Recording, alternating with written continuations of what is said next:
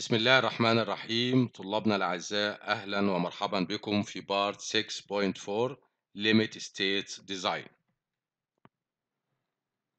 المقصود بال limit states design هو تحديد كل الحالات اللي ممكن يحصل فيها انهيار سواء كان الانهيار دوت عندك نتيجة flexure أو الانهيار دوت نتيجة shear stresses.